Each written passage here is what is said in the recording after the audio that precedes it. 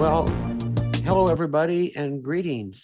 The Inland Empire Civil War Roundtable is happy to be able to host today the uh, third or fourth presentation we're having of the International American Civil War Roundtable. Um, so we welcome everybody. Uh, we're in for a, a, very good presentation today. Uh, I'm going to um, let Fernando translate what I have just said.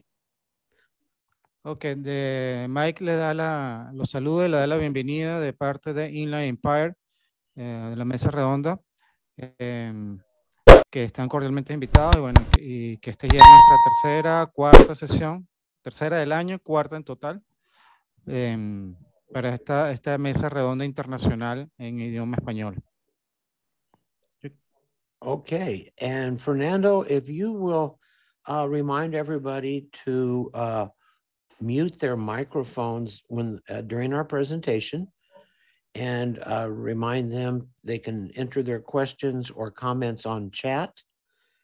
And if they have a question at the end, we will be unmuting the microphones and then our speaker can take questions and answer them. Okay. Eh, para las personas que están en Facebook, este, pueden hacer sus preguntas por el chat. Y para las personas que están dentro del salón de Zoom, este, les, les agradecemos desactivar el audio que está en la parte inferior izquierda, mientras esté la presentación de Adolfo. Y después de la conclusión de la presentación de Adolfo, empezaremos con las preguntas y respuestas y ahí sí podamos tener, este, activar el audio para hacer las preguntas directamente al conferencista. Okay, and before we start our uh, speaker introduction, I will start off with a sharing of our musical entry. Just let me get this going here. Share screen.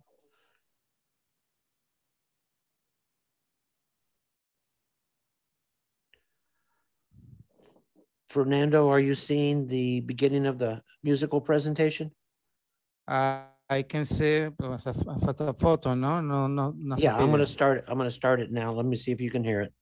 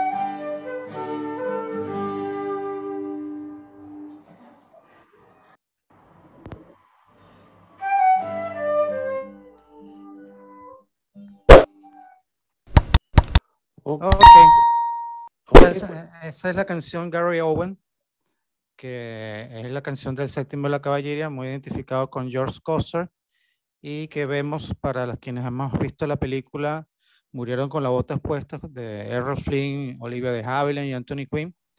Bueno, esta es la canción por excelencia de esa película, ¿no? Y del séptimo de la caballería como tal, que sale en alguna, algunas películas acerca de George Coster. Bueno, este, esta canción fue gracias a Daniel y una compañera de trabajo quienes nos grabaron la, la misma y para facilitarnos para este evento. Para ellos, muchísimas gracias. Ok, bueno, vamos a empezar con la sesión con Adolfo. Bueno, Adolfo tuvo la oportunidad de conocerlo en una, en una reunión anterior para el, el Museo de la Guerra Civil Americana el año pasado y sus presentaciones han sido en inglés. Esta es la primera vez que la va a hacer en, en idioma español es la primera conferencia que se da en, inglés y en español al mismo tiempo, ¿no? Así que, de hecho, la dio esta semana para otra mesa redonda. Y eh, bueno, muchísimas gracias y le quiero agradecer a Adolfo por estar presente con nosotros y poder darnos esta conferencia la cual quedará y la grabaré, se colocará posteriormente en nuestro canal de YouTube para que todos los podamos disfrutar posterior al mismo. Pues. Bueno, yo le doy el derecho de palabra a Adolfo para que, eh, bueno, antes que, antes que nada, este, agradecer también a otro grupo de Facebook que me permitieron colocar la información del evento. Y mm, bueno, ahorita voy a colocar por el chat información sobre otras actividades para que puedan ver la, la información del libro de Adolfo, para quienes quieran verlo y adquirirlo. Este, eso se lo colocará mientras tanto en el chat para que todos lo puedan tener esa información. Muchísimas gracias bueno, le doy el derecho de palabra a Adolfo. Ok, bueno, muchas gracias por la introducción. Eh, esta es la primera vez que yo hago esta presentación en español eh, yo voy a hacer una, un PowerPoint presentation. Eh, la presentación es en inglés, pero yo voy a dar la presentación en español. Y con eso dicho, yo voy a decir que eh, el español mío no es tan fino como el de Emilio que yo oí hace dos meses, pero ¿qué se va a hacer? lo he practicado bastantes veces, así que espero que el sentido, si no la palabrería, eh, lo voy a poder pasar a ustedes para que entiendan más sobre la vida de George Custer y más sobre la vida de Wesley Merritt, que hay muy poca información sobre él. Así que bienvenidos a todo el mundo a mi presentación de los generales joven, George Custer, Wesley Merritt y la caballería del ejército de, del Potomac. Así que si podemos empezar eh, la presentación. Lo pongo ahora.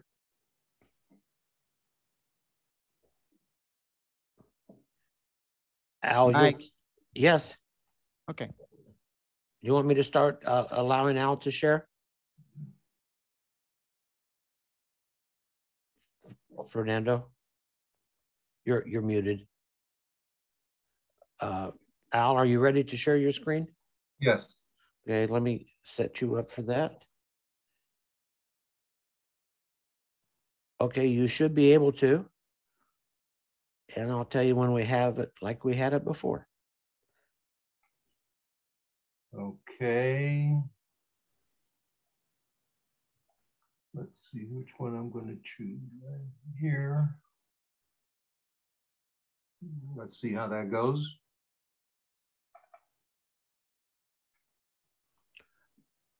Okay. And uh, we're seeing the first slide, we're seeing the information on the slide on the right. So the, you need to do one more setting like you did before. Which is? Well, well, we don't want to see, I think you went to display settings. And where would I find that? On your on your PowerPoint screen. You should see something that says display settings. on the upper left-hand side where you, where it says show above the, uh, Okay. Like I say, I have two monitors here, so um, I'm going to go to. yeah, there you go. Uh-huh. I know you did something there before, which set it up. I think it's uh, presenter view and slideshow. I think so. That's Okay. it. That's perfect. Okay, we're, we're rolling. We're good to go. Ok. Eh, bueno, bienvenido a mi presentación de los generales joven, George Custer, Wesley Merritt y la caballería del ejército del Potomac. Eh, la pregunta que yo quiero hacer ahora es eh, que si esto era una rivalidad animada o si era una en- enemistad implacable. Eh, eh, mi obra es en tres volúmenes. el primer volumen empieza con el tiempo que pasaron en la, ah, en la Academia Militar en West Point y termina con el tercer día de la batalla de Gettysburg. Eh, volumen 2 es la persecución del retiro del ejército de Robert E. Lee. Y entonces el tercer, hasta, bueno, eso llega hasta el principio de campaña del Valle de, Shenandoah. Y el tercer volumen es eh, el término de el campaña de, del Shenandoah hasta el final de la guerra y un poquito más después en Texas y Kansas, pero no mucho. No es mi intención de hablar mucho sobre Custer cuando estaba peleando contra los, los indios.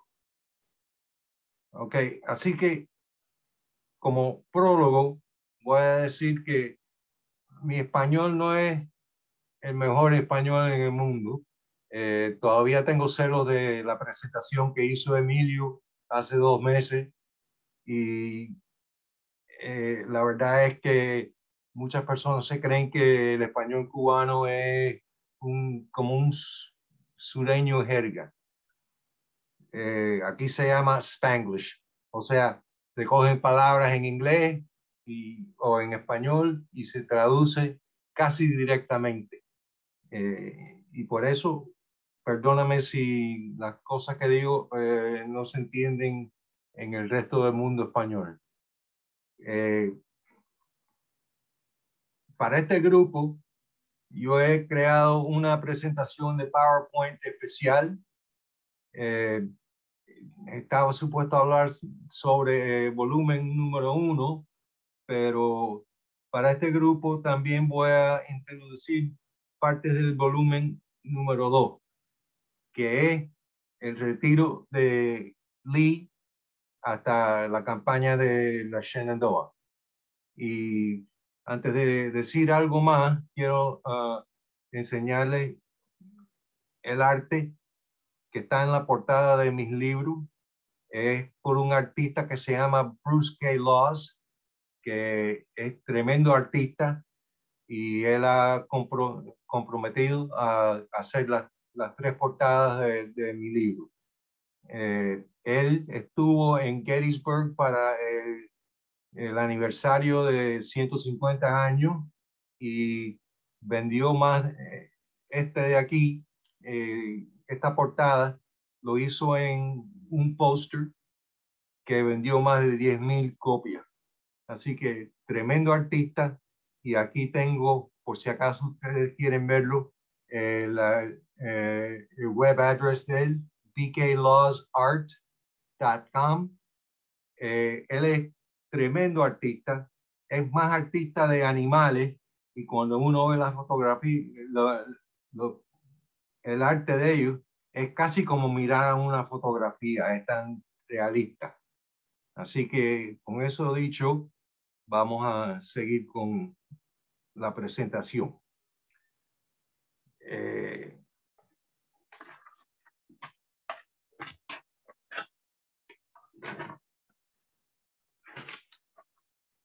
Esto es lo que yo llamo la batalla por el alma de la caballería, en el sentido que antes de la guerra, el modelo de caballería en, el ejército de los Estados Unidos era basado en el modelo europeo. O sea, había caballería ligera, había los dragoons y el tercero no vamos a hablar de eso porque en realidad nunca tuvo éxito aquí en los Estados Unidos.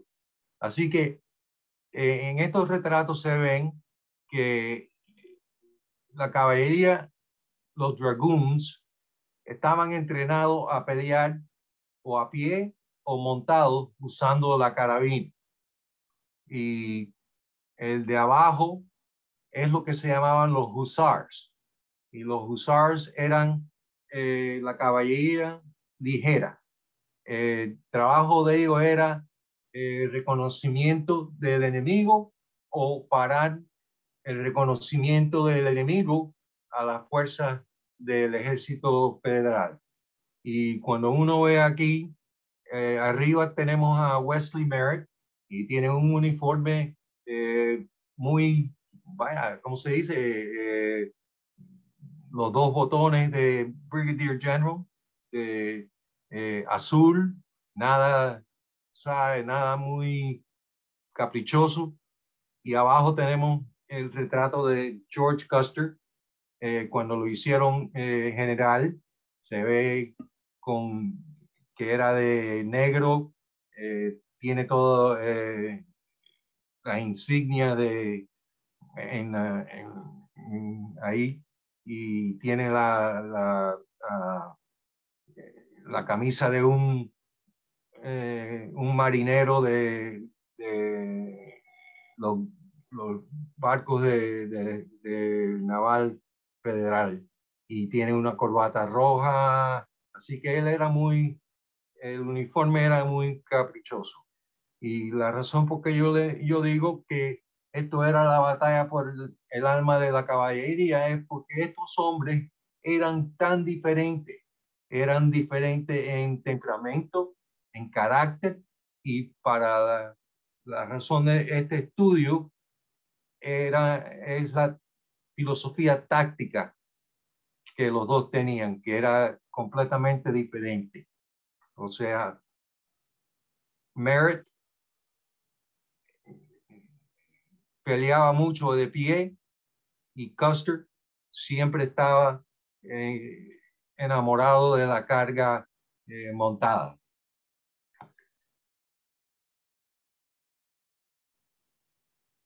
Uno de los problemas en la relación disfuncional de estos dos hombres es que Custer siempre era subordinado a Wesley Merritt.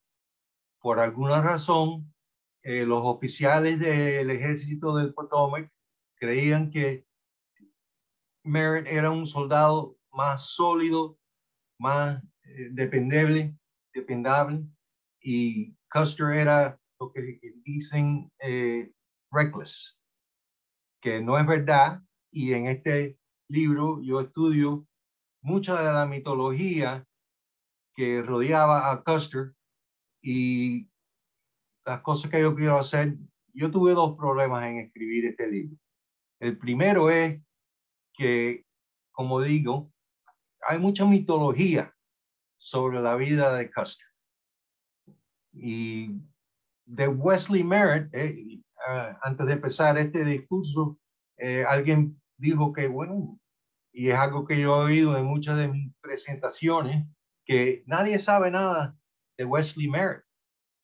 Pero Wesley Merritt tuvo tremenda carrera en el ejército de los Estados Unidos. Eh, peleó los cinco años de la guerra civil, peleó contra los indios en la frontera y al final de su carrera él fue eh, comandante de las Fuerzas Armadas de los Estados Unidos durante la guerra contra España en 1897 en la Filipinas. Después que se retiró, o mientras que estaba al fin de su carrera, él fundó una organización que se llamaba eh, la Asociación de Caballería de los Estados Unidos. Y él escribió cada mes un, un artículo sobre lo que él creía que el ejército de los Estados, de los Estados Unidos debía de, ser.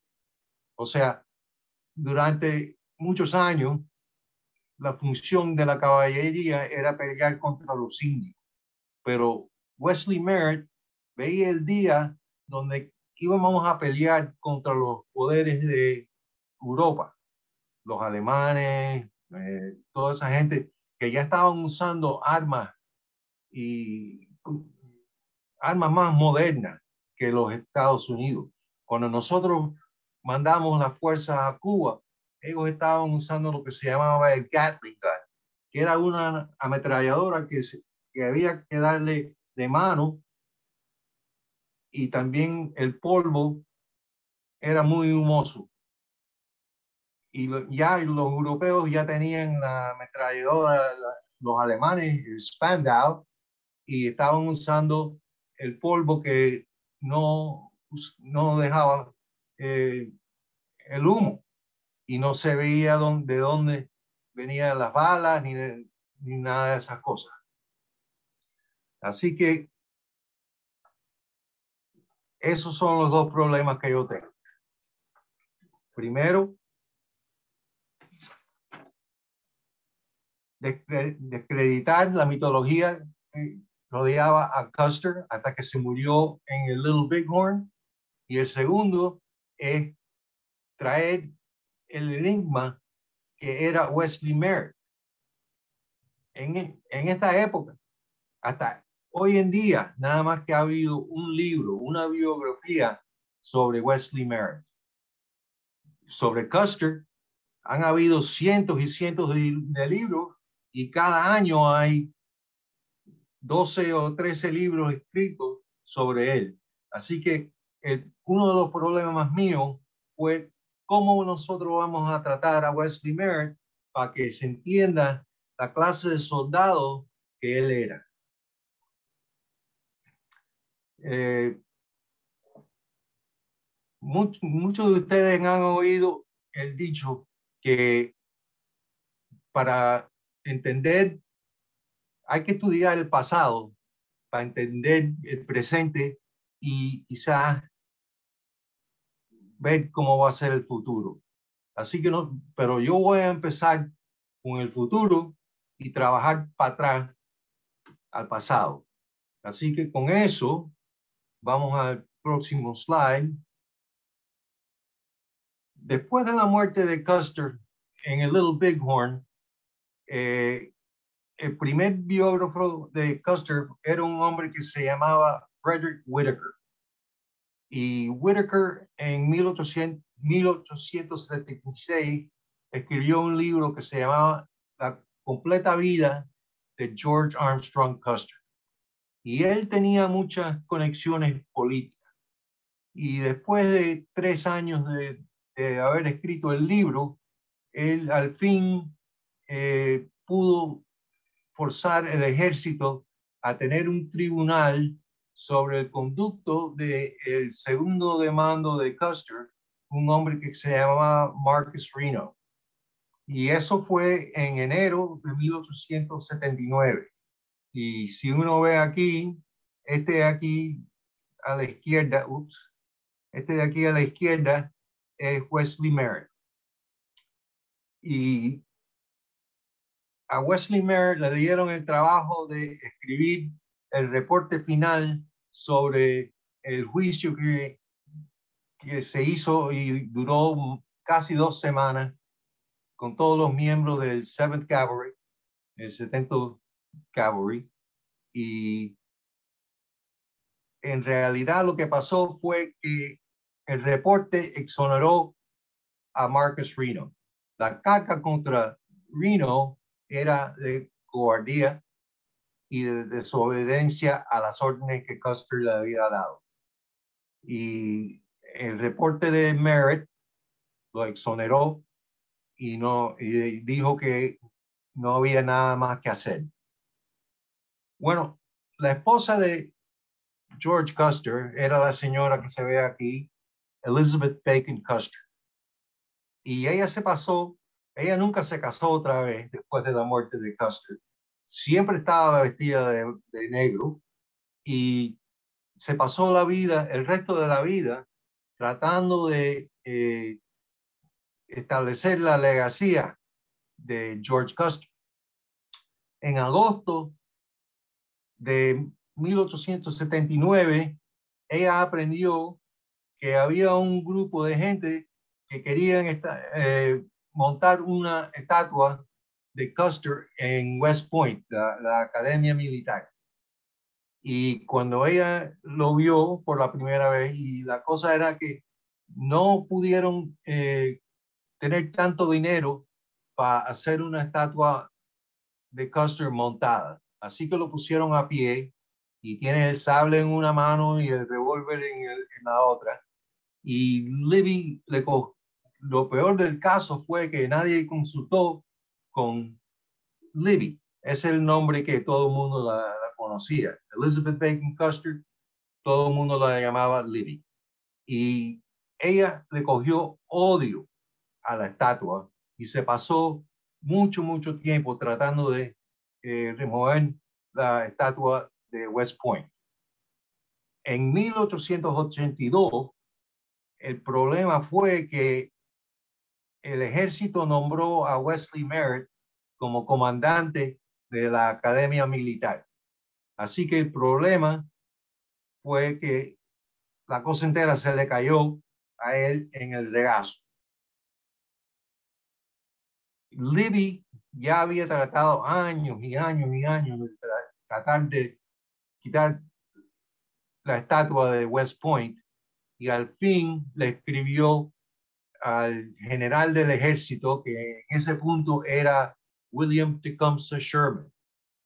Y ella le escribió y le dijo, hace años yo entendí, no por mi esposo, que el general Merritt era su enemigo. Cuando nosotros los, entreten cuando nosotros los entretenimos en la llanura, él había aparentemente ya conquistado su enemistad y celos.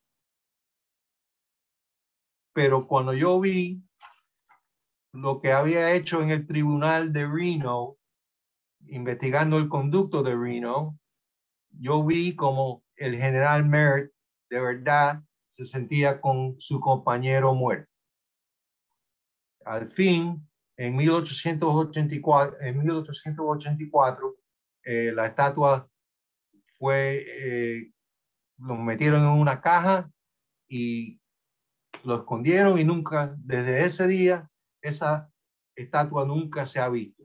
Lo único que quedó fue la parte de abajo y unos cuantos años después le pusieron un obelisco arriba. Y eso es la, lo que está hoy en día en el cementerio de la Academia Militar. Así que ahora volvemos al pasado. Yo nunca pude encontrar un retrato de Wesley Merritt en la, en la Academia Militar en su uniforme de cadet. Él se graduó en la clase de 1860. En esa época, la Academia Militar estaba bajo el cuerpo de ingenieros y muchas de las clases eran matemáticas, ingeniería y fortificaciones. El secretario de guerra en esa época era Jefferson Davis, que iba a ser el presidente de la Confederación cuando la guerra empezó.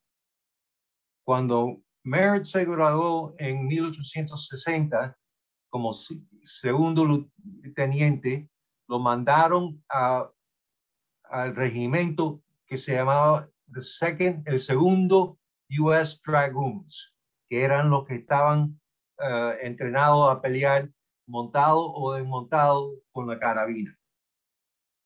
Eh, el curso fue cinco años y fue el único curso en la historia de la academia que duró cinco años. Y lo que quería hacer Jefferson Davis era entrenar a soldados que podían pelear una guerra.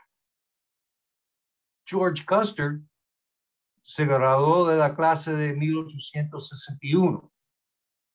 Que se graduó es casi un milagro.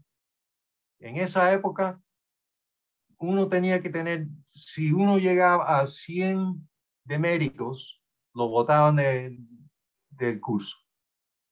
Él en un año llegó a 99 y su carrera casi estaba acabada, pero para enseñar la clase de persona que él era, él se pasó el resto del curso sin un solo demérito y salvó su carrera, o casi salvó su carrera en los últimos días del el cuarto año de él, él estaba como oficial de la guardia y entraron los, los cadets nuevos, los, nuevos estudiantes a la academia y dos de ellos empezaron a pelear.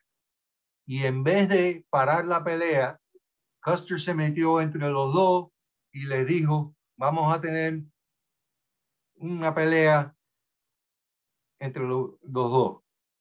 El oficial del día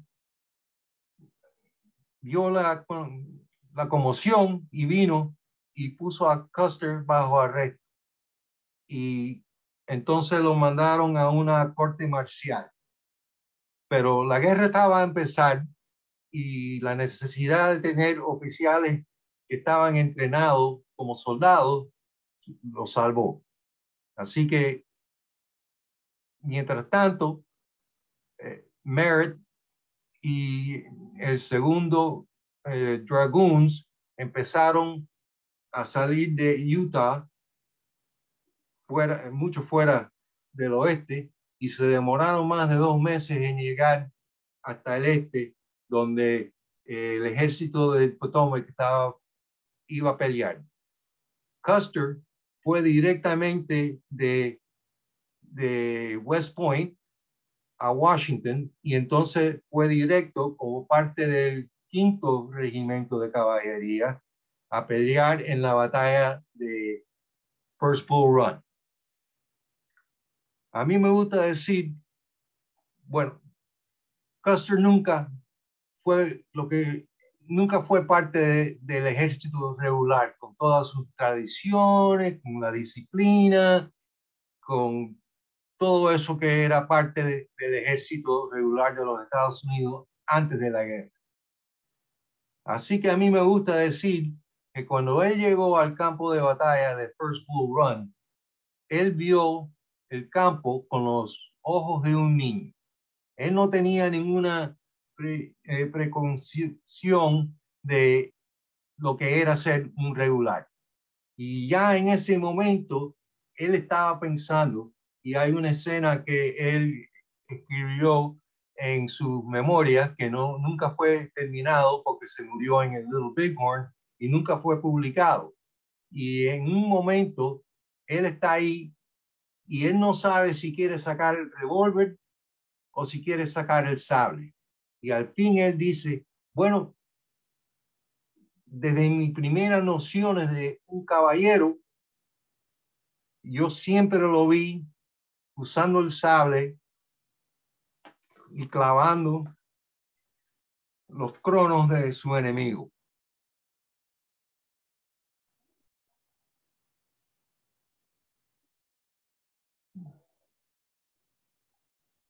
Espérense un segundito. Déjame escapar de ahí.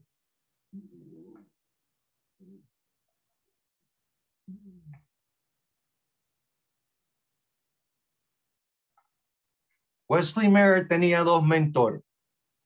Los dos eran leyendas en la caballería vieja, o sea, la caballería antes de la guerra. El primero era el general Philip St. George Cook, que era el comandante de los segundos Dragoons. Y él estaba escribiendo un manual táctico y, y esto es un, ¿cómo se dice? Un paradojo, en el sentido que comandando un grupo de hombres que estaban entrenados a pelear a pie o montado con la carabina, él trató de escribir un manual táctico que usaba la carga montada con el sable. Así que en ese sentido era un paradojo, pero él era el ídolo de Wesley Merritt. El otro era John Buford. Cuando Merritt estaba con los segundos Dragoons en Utah, él estaba bajo la compañía de John Buford. En esa época, John Buford era un capitán. Y en los dos meses en que se pasaron en irse para el este, John Buford enseñó todas las noches hablando sobre el fuego, el campfire, eh, sobre los rudimentos de las operaciones de caballería. Él le enseñaba, este es un punto de defensa, este es un punto de ofensiva, como cuidar los caballos para que pudieran marchar 50 millas cada día, lo que sea. Eh, así que estos fueron los dos mentores de Wesley Merritt. Este es un retrato que se tomó eh, durante eh, la campaña de la península, cuando Custer estaba como parte de los ingenieros topográficos. Y en esta época, en esta parte de su carrera, él tenía la reputación tomar mucho y ahí se ve la botella de whisky, de vino, las botellas vacías y también tenía la reputación de ser un hombre muy vulgar. Siete días después que esta fotografía se tomó, él estaba haciendo un reconocimiento en el río Chickahominy.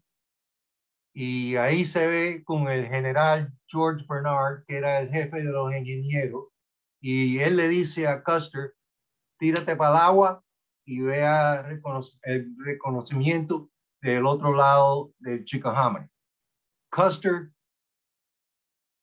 creyendo que a cualquier minuto alguien le, iba a meter una bala, cruza el río y se pasa 15, 20 minutos en el otro lado. Mientras tanto, el general Bernard se está volviendo loco en el otro lado, diciéndole, vuelve, vuelve, vuelve. Y Custer al fin vuelve y en reconocimiento de lo que había hecho, él lo llevó y lo introdució al general George McClellan. Este era el primer mentor de George Custer. Y McClellan mira a, Custer y le dice, tú eres exactamente la clase de hombre que yo necesito en mi estado mayor. Así que si quieres, yo te doy una posición. Y Custer dijo claramente que sí. Y desde ese día, él también tuvo como McClellan como ídolo.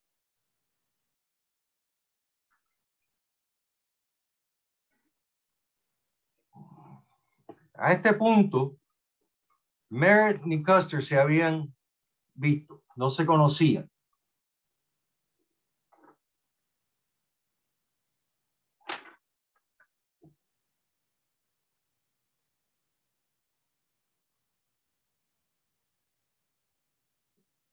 la cosa del ejército de, Potomac es que los generales venían y se iban.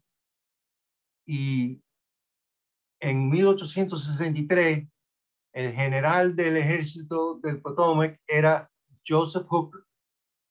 Y él relevó al comandante del cuerpo de caballería, George Stoneman, y apuntó a Alfred Pleasanton como comandante de la caballería.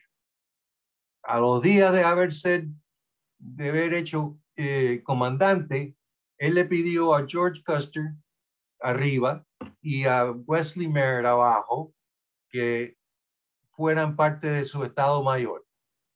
Y aquí es donde las primeras cosas se empiezan a, eh, a poner disfuncional, vamos a decir. Habían tres razones por la cual esa pasó.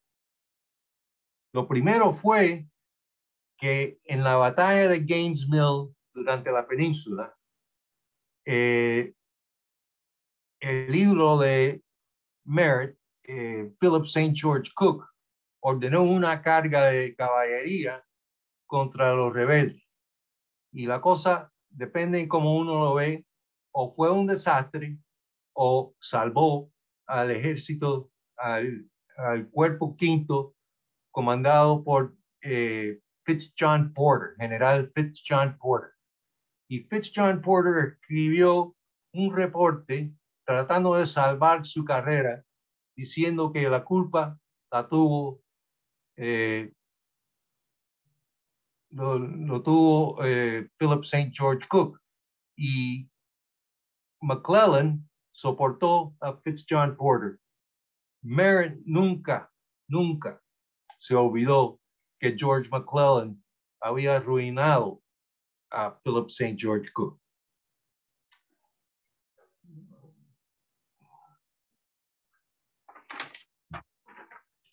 Otra cosa que no le gustaba a Merritt era que durante su tiempo en la academia militar, George Custer, que era un hombre muy gregario, muy ebulente, eh, se hizo amigo de muchos de los sureños que cuando la guerra empezó, ellos ofrecieron su resignación y fueron a pelear en el ejército de la Confederación.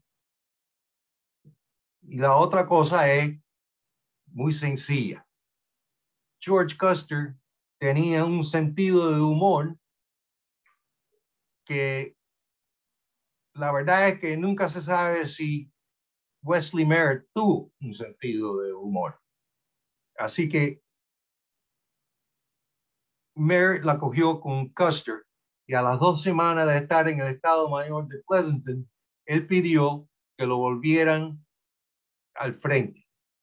Y cuando volvió, eh, John Buford lo hizo capitán de lo que en ese tiempo se había cambiado de los segundos Dragoons a la segunda caballería. Y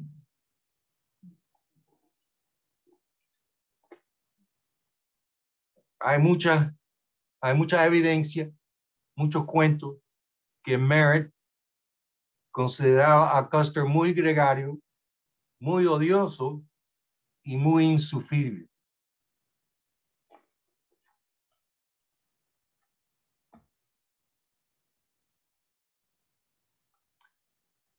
Eso nos lleva a la batalla de Brandy Station.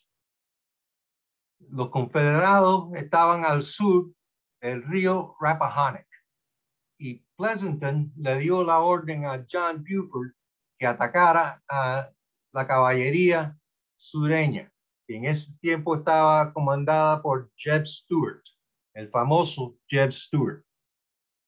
Así que la mañana de junio 9, ellos cruzaron el Rappahannock en un lugar que se llamaba Beverly Ford.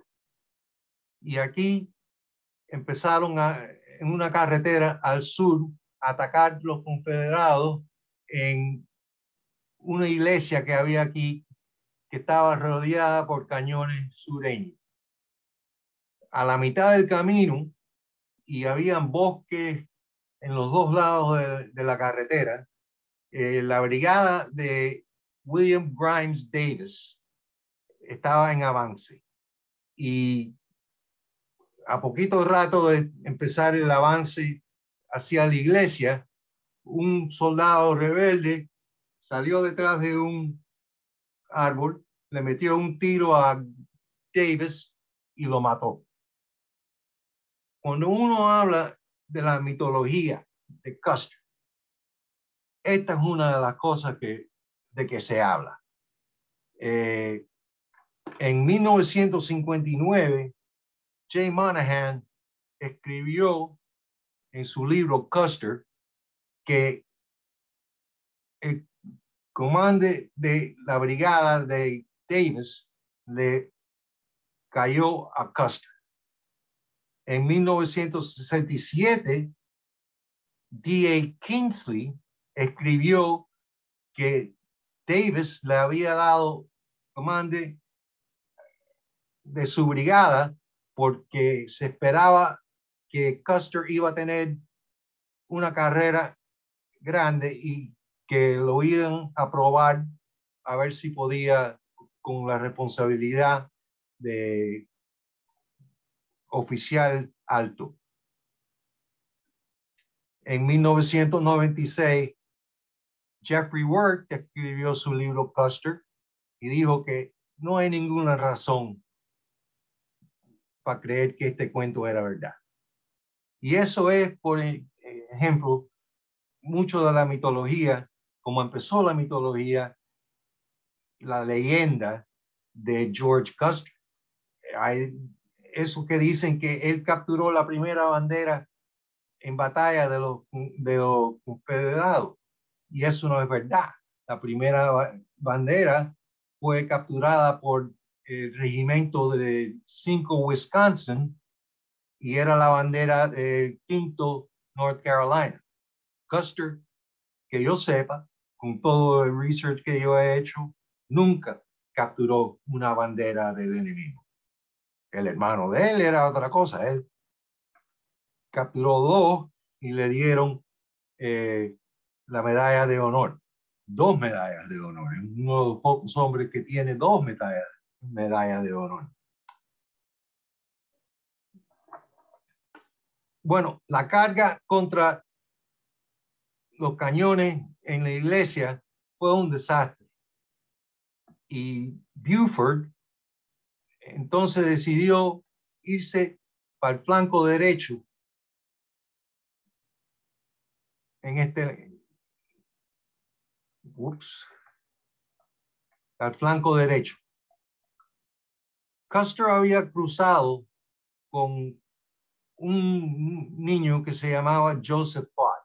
Y Joseph Fott dejó un cuento que en el medio de la carga contra los cañones en la iglesia, que él y Custer se habían lanzado al frente del regimiento de Merritt. Bueno, Merritt era un poco de martinete y eso no es posible. Así que en camino a la, a la derecha, él y Custer aparentemente tuvieron una discusión. Y yo estoy seguro que no fue una discusión buena. Así que cuando llegan a la derecha, encuentran aquí un muero de, de piedra donde están estacionados los, los rebeldes. Y hay cuentos de que Custer estaba ahí sonriéndose, bailando. Él quería ir. Pero cuando Merritt avanzó contra los rebeldes aquí detrás de la pared, Custer no fue. Así que algo pasó y eso es parte de lo que el problema entre Custer y Merritt. Aquí ya es cuando las cosas empiezan a poner malas entre los dos. Después de Brandy Station, llegamos al punto donde empieza la campaña de Aldi, Middleburg y Upperville. Y aquí está Aldi. Y se ve que aquí hay una bifurcación de las dos carreteras. Al norte hay el paso de Snickersville y al sur hay el paso de Ashby's Gap. Y estas son las montañas Blue Ridge. Robert E. Lee ya estaba montando su ofensiva a cruzar el Potomac y avanzar al territorio del norte. Así que era muy importante que alguien tenía que pasar uno de estos pasos y ver lo que estaba pasando al oeste de la montaña Blue Ridge.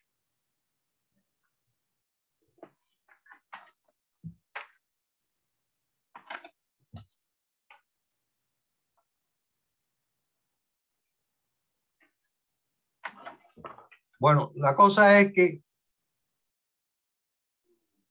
Merritt va para el norte y Custer va al sur. Esta parte de aquí era, había muchas fincas y cada finca tenía su reja de madera y el muro de piedra y todo no era muy conducivo para usar eh, el caballo. O sea, Merritt quería desmontar a sus hombres y pelear como él era un dragón y empezó a pelear a pie. En este, Custer fue en esta dirección y esta parte de, del terreno era más amplio, más abierto. Y Custer, en vez de usar la carabina, empezó a usar el sable. Y en la, la revista eh, este, por ejemplo, esta pared de aquí, en una fotografía que yo tomé de los problemas que Merritt se encontró. Eh, la pared es en, el, en la finca Ford y aquí se ve los hombres peleando a pie. Este fue, esto salió en la revista Harper's Week y esto fue al sur. Y en este sentido, esta es la caballería del regimiento del primer Maine. Y el general de, de, este regimiento era Judson Kilpatrick. Y Judson Kilpatrick va y le dice al coronel Dowdy, comandante del primer Maine, que atacaran a los rebeldes montados. Dentro del segundo, Dowdy está muerto, aquí, y el caballo de Judson Kilpatrick está muerto también, y Judson Kilpatrick cae al, suelo. Eso deja a George Custer solamente enfrente de la carga del primer Maine. Y esto, como dije, fue publicado en la revista Harper's Weekly y fue una de las primeras veces que la gente que estaban leyendo periódicos y revistas en el norte se fueron, eh, se acostumbraron a ver a George Custer, la clase de héroe que él era, siempre montado, siempre con el sable en la mano. Y dentro de segundos él estaba en el medio de, eh, de los rebeldes y la única razón por que escapó es porque tiene un sombrero que era mucho como los de los sureños y en el humo y el polvo y de cuanto hay, se viró y escapó. Pero esto es, como yo digo, la primera vez que la gente ve a George Custer en acción. Este retrato es parte del futuro, porque aquí se ve al general Philip Sheridan. Y Sheridan no llega al ejército del Potomac hasta 1864. Pero la razón por qué a mí me encanta este retrato es que en junio 28 de, de 1863, eh, la Orden Especial 98 eh, del Ejército del Potomac nombró a Wesley Merritt aquí y George Custer como generales brigadier. Y la razón por qué este retrato me encanta a mí, y yo tengo uno en mi pared, es que los dos están sentados ah, en un lado, cada uno en un lado de la mesa, mirando al mapa, pero ya las cosas se estaban poniendo malas y ya estos dos ya tenían su filosofía táctica en mente cuando lo hicieron general. Una de las cosas que muchos hablan es la suerte de George Custer. Bueno, exactamente, ¿qué es la suerte de George Custer? ¿Fue porque lo nombraron al Estado Mayor de George McClellan? No. Fue porque lo nombraron al Estado Mayor de Alfred Pleasanton, que era el jefe de la caballería en ese tiempo? No. La suerte de Custer fue que en 80 cargas durante la guerra, nada más que, nada más que estuvo herido una vez, no. La suerte de Custer fue que cuando lo nombraron general y le dieron, eh, como, fue comandante de una brigada que se llamaba la Michigan Cavalry Brigade. Dos de los regimientos de el Michigan Cavalry Brigade estaban equipados con un rifle de repetición que se llamaba el Spencer.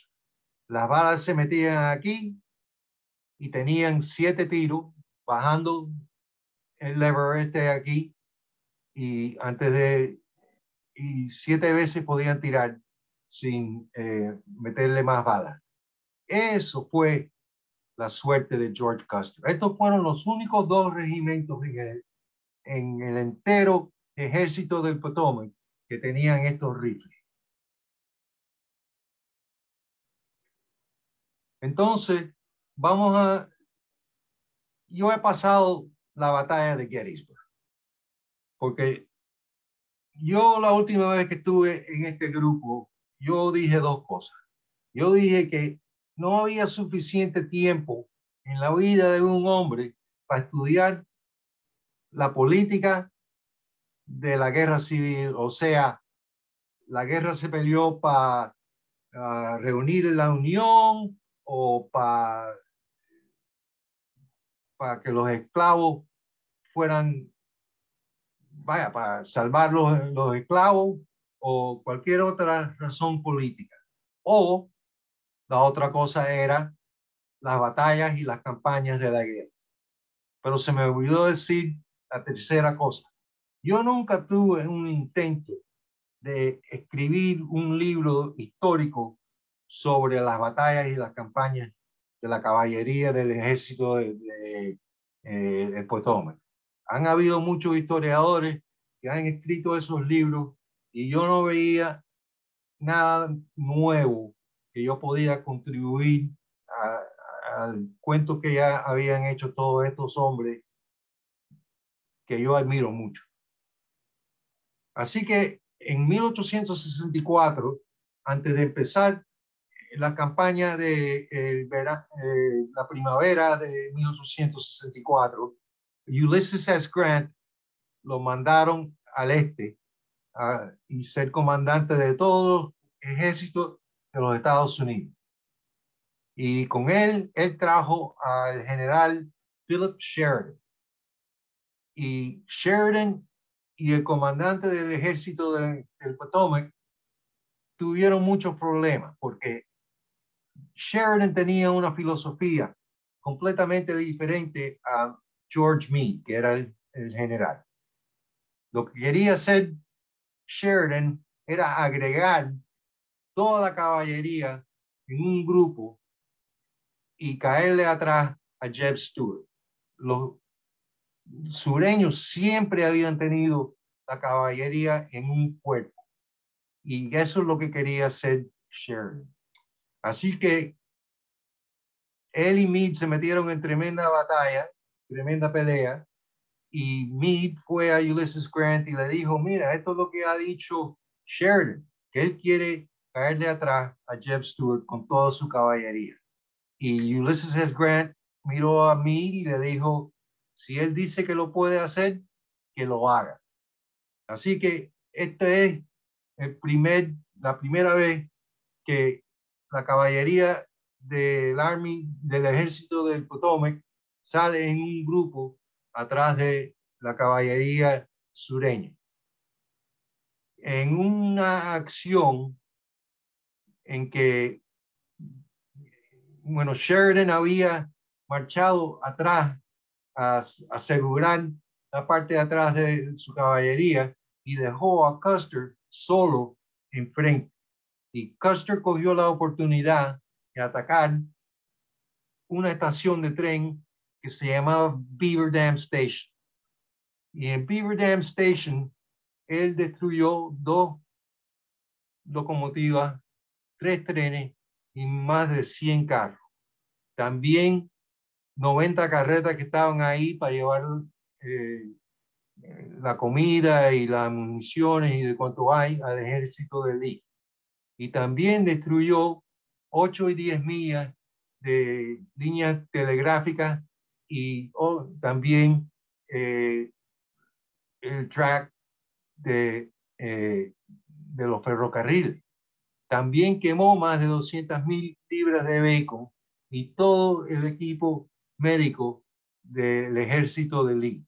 Y este es un retrato de la estación que lo construyeron en 1866 y esta es la manera en que ellos destruyeron los, los ferrocarriles. Esto era la, madera que estaba llena de criosot y muy flamable. Así que ellos ponían las rayas de, eh, de los ferrocarriles arriba y cuando estaban bien calientes, los hombres lo cogían y lo ponían a, través de un árbol y ya, ya no servían para nada. Bueno, la cosa es que en, esa, en ese tiempo la caballería estaba comiendo lo que encontraban mientras que estaban marchando. Y cuando Merritt se enteró que Custer había quemado 200 mil libras de bacon, se puso bien dispuesto. Muy, y llamó, llamó lo que él dijo caucherie, que es una palabra francesa, pero estaba muy disgustado con Custer.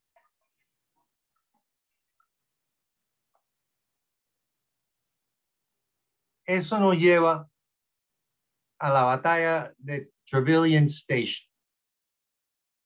Y aquí las cosas sí se pusieron súper malas y es la primera vez en que la enemistad entre los dos hombres sale en los recuerdos oficiales. Merritt baja sobre una calle que se llamaba Fredericksburg Road hacia la estación de Trevelyan que estaba aquí. Empezó en un lugar que se llamaba la tienda de Clayton, porque era el único lugar amplio suficiente para establecer líneas de caballería.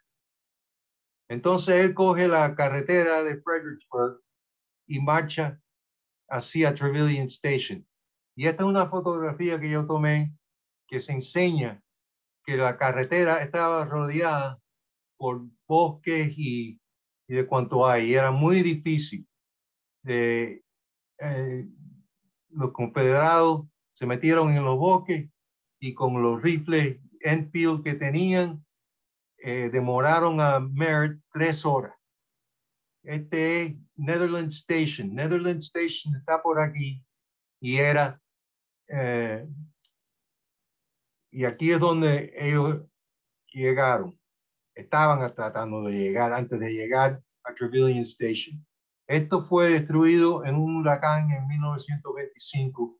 Hoy en día hay una reproducción de la taberna, pero esta es la original Mientras tanto, Custer cogió una carretera que se llamaba Marquis, la carretera Marquis. Y cuando sale aquí, esta es la carretera de Gordonsville. Y para acá es Gordonsville, que era un centro de, eh, de la Confederación. Y cuando Custer sale aquí, se encuentra que sin mapas buenos y sin información y con la popular que era más sureña que del norte, se encuentra que está más de 700 yardas de la estación de ferrocarril. A este lado tiene la división confederada de Fitzhugh Lee y aquí tiene la división de Wade Hampton. Así que él está en el centro de estas dos divisiones con una sola brigada. Y aquí en este retrato se ve lo que pasó. Fitzhugh Lee avanza sobre la carretera de Gordonsville y ataca a Custer por atrás y por el flanco de izquierda. Wade Hampton ataca a Custer por el flanco de derecha y de aquí de Gordonsville viene la brigada de Tomás Rosser. Así que en poco tiempo, Custer está completamente rodeado por los confederados. En, el, en ese momento, la brigada de Custer casi fue eliminada. Una de las cosas que pasó fue que le cogieron la carreta personal de él, que tenía sus uniformes, su comisión de general y más importante, tenía todas las cartas de su amor Libby Custer. Y lo cogieron, los confederados cogieron las cartas, se publicaron en los periódicos de Richmond y en muchas de las fiestas que tuvieron, la gente se pusieron a leer las cosas que Libby le había escrito a Custer. Y la verdad es que Libby era un poquito de, tú sabes, vamos a decir, una llama viva. Y escribía cosas que Custer no quería ver en periódicos y eso. Pero Custer nunca se olvidó de lo que pasó en esta batalla.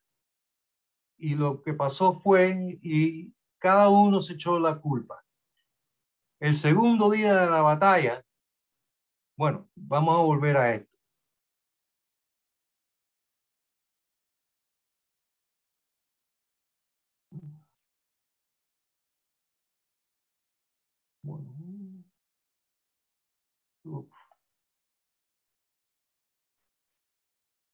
Durante el primer día de la batalla,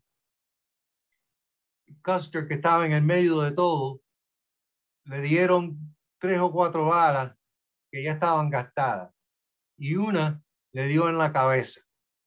Y eso es lo que, vamos a decir, era, se quedó pasmado por, por la bala.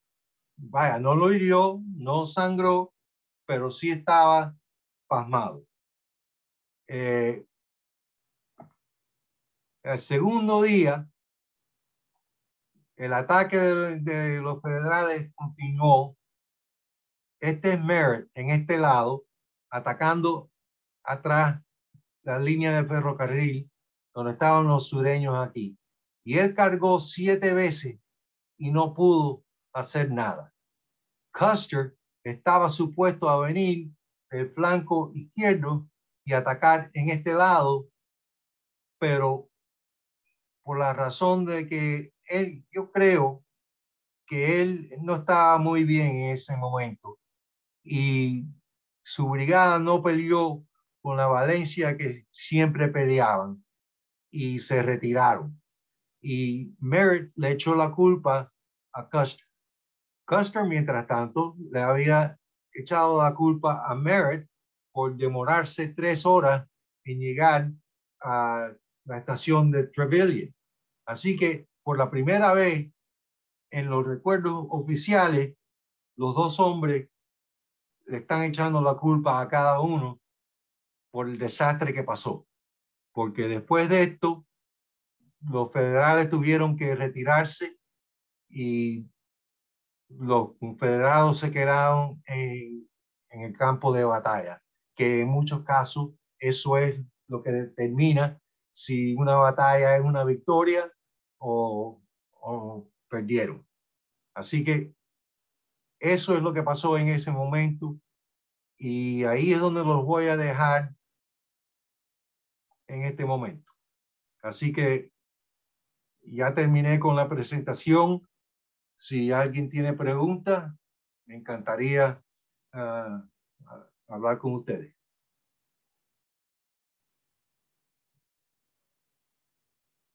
Fernando, ¿hay preguntas? Sí, este, bueno, muchísimas gracias, Adolfo, por esta excelente presentación sobre Custer y Merritt. Indudablemente, Merritt no teníamos mayor información sobre él, prácticamente desconocido. De hecho, como tuvo una carrera larga, ¿no? O sea, incluso tuvo participación en la guerra española estadounidense, ¿no? Ya a finales del siglo también, o sea, cosa que la, vida de Costa no fue tan larga así. Pues. Doblemente conocemos que cayó fue en Little Big Horn. Ahora, este, bueno, para todas las personas pueden hacer sus preguntas, los que están en Facebook lo pueden hacer por, por el chat.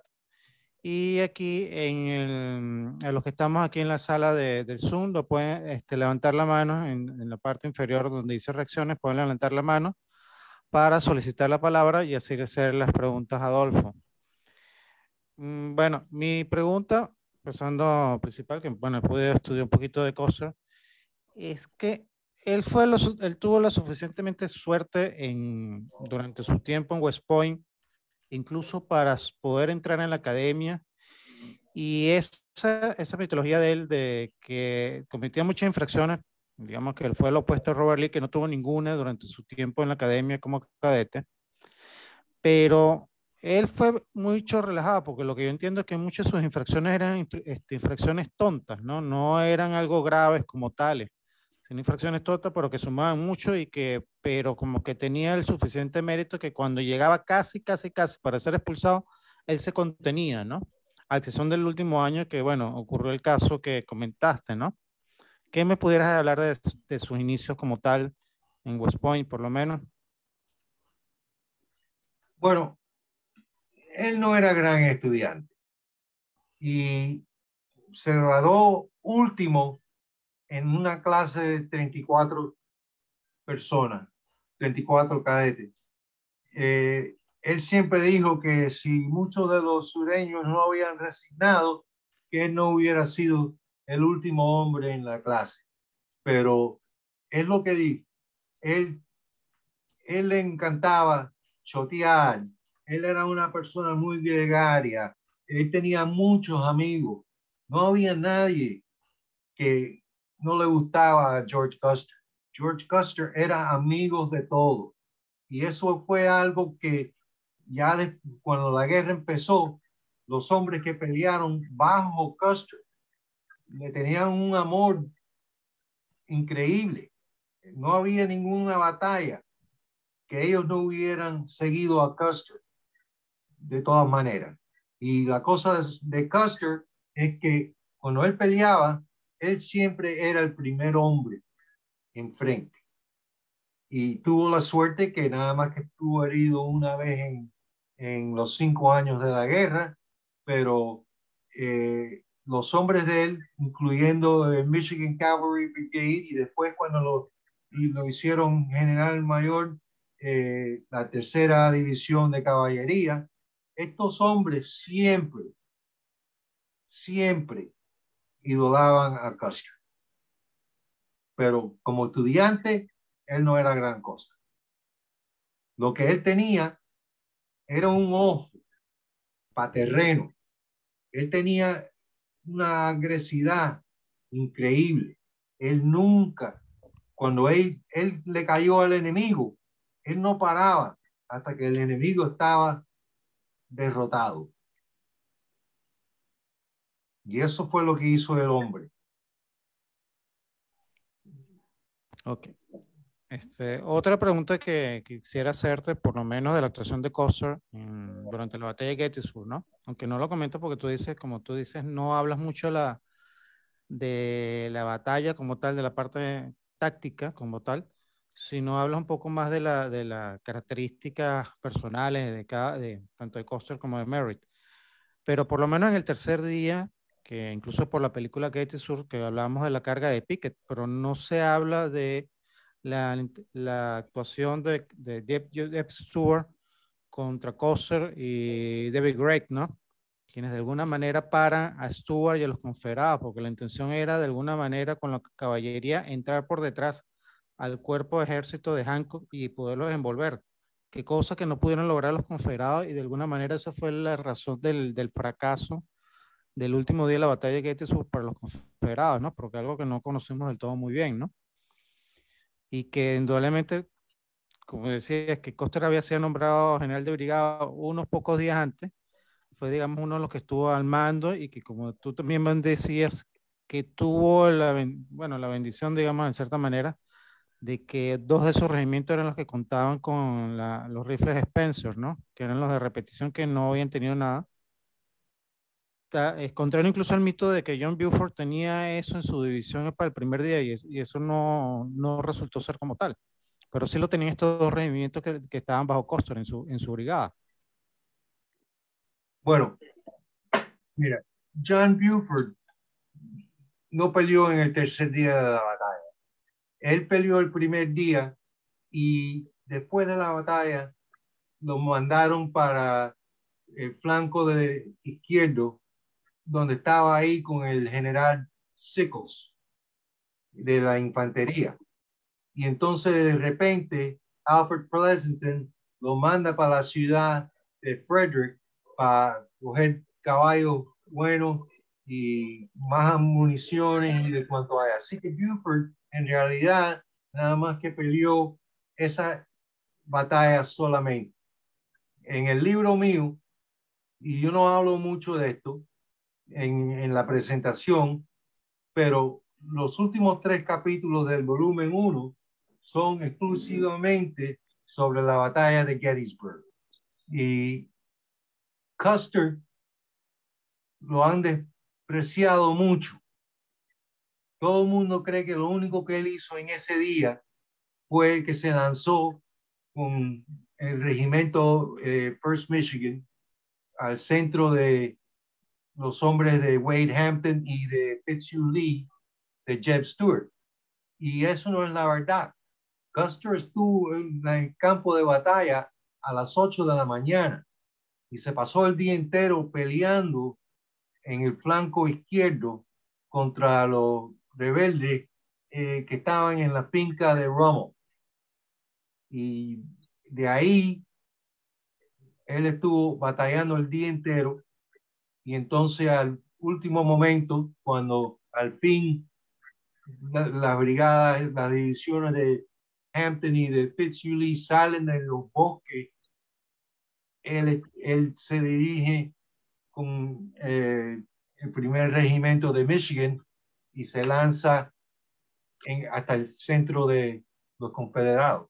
Que no es que decir que él fue el único, porque los hombres de, otro, de otra brigada, la de David Gregg, se lanzaron del flanco de derecha, mientras que los de Custer eh, pelearon en el lado izquierdo.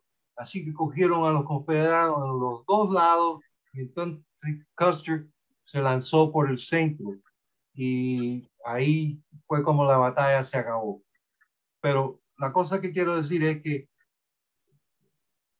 sería, no es que decir que Jeb Stuart tenía un plan de atacar el ejército de, del Potomac por detrás, mientras que Pickett y Trimble y Pettigrew se lanzaron por el frente. Eso no es verdad. Eso nunca pasó. Stuart simplemente estuvo ahí y si la oportunidad pasó, él iba a hacer algo.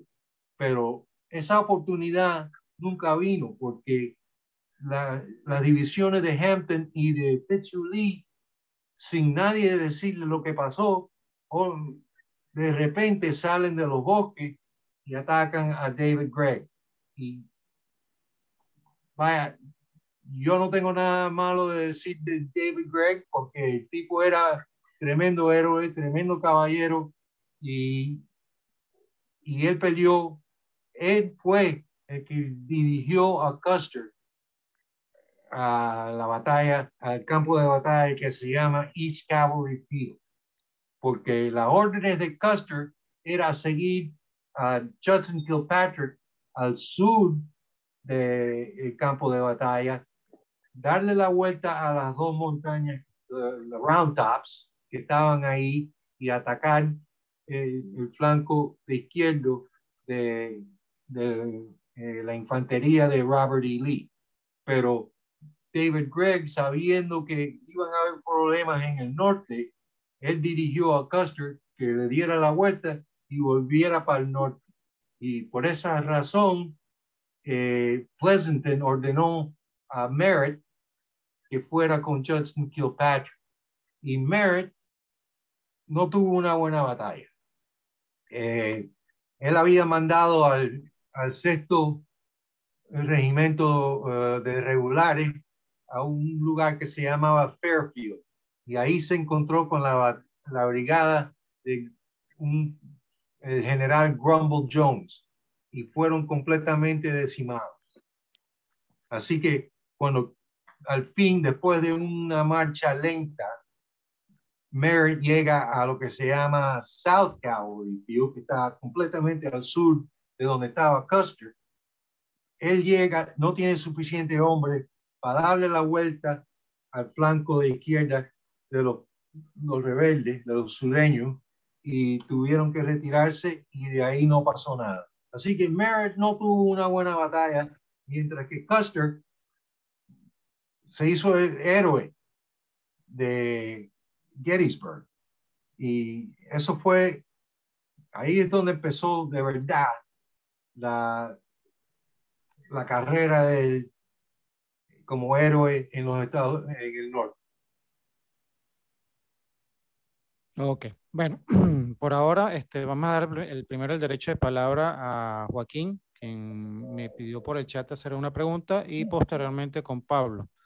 Eh, Joaquín, si puedes hacer tu pregunta, y antes, antes de eso, por favor, Adolfo, si puedes dejar de compartir la pantalla de forma que podemos verte eh, de forma completa a tu imagen. Sí. Ok. Ok, Joaquín, Sí, sí, ya. Sí, sí, bu- eh, buenas noches. Eh, Adolfo, en primer lugar, felicitarte por tu brillante exposición. Me ha, me ha encantado, ha sido muy, muy ilustrativa.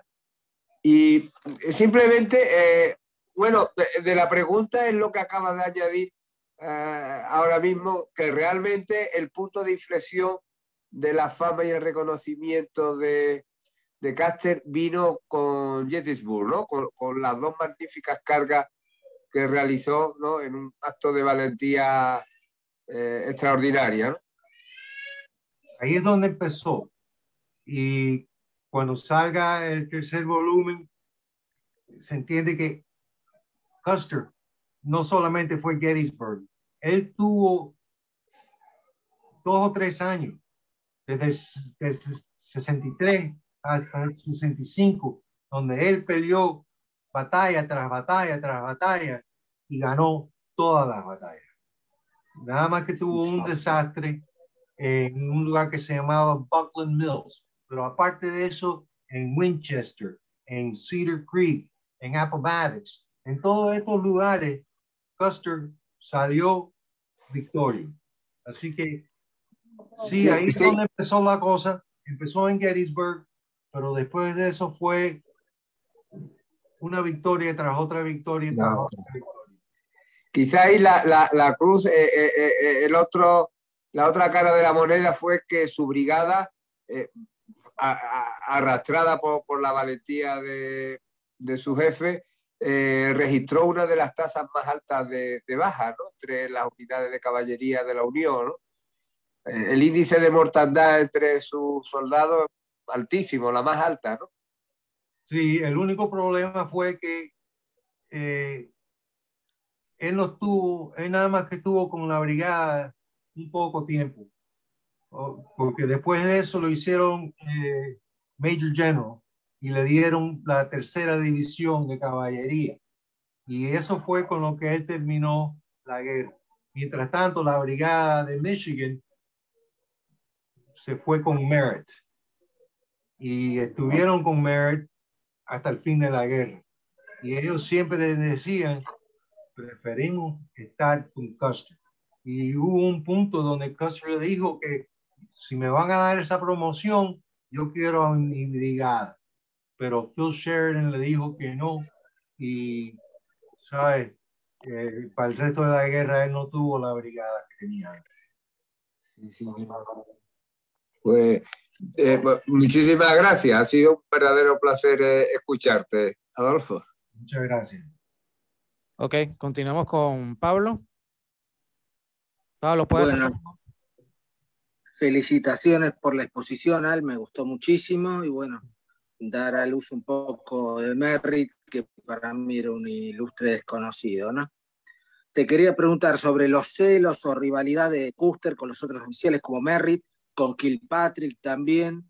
He leído en algún lado que quizá en parte esto se debía a que Custer era admirador eh, de McClellan y era demócrata y seguidor de McClellan, y que Kilpatrick y quizá los otros oficiales eran republicanos, y esto, este aspecto político influía en la rivalidad y la relación entre ellos. ¿Qué puedes decirme de Merritt y de este aspecto, por favor? yo no creo que eso fue, eh, que no había, el problema político no, de verdad no existía. Las cosas que pasaron en el campo de batalla fueron las cosas que dividieron a los diferentes hombres. Eh, por ejemplo, en la batalla de Buckland Mills, Custer, Custer estaba en el avance y de repente él le dice a Kilpatrick, mira, mis hombres no han comido, mis caballos no han comido, yo me voy a mover al lado de la carretera y darle comida a los hombres y a los caballos.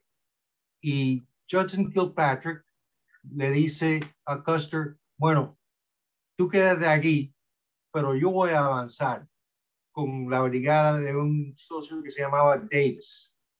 Y Davis sigue para adelante y los, los rebeldes le caen arriba de mala manera. Y es un derroto completo. Y Custer cae en, ese, en eso y él también se tiene que retirar. Y otra vez los confederados le cogen la carreta personal. Él dijo que lo único que no perdí fue mi, cepillo de dientes. Pero aparte de eso, perdió todo. Y desde ese momento, él y Kilpatrick, la relación entre ellos dos empezó a, a bajar.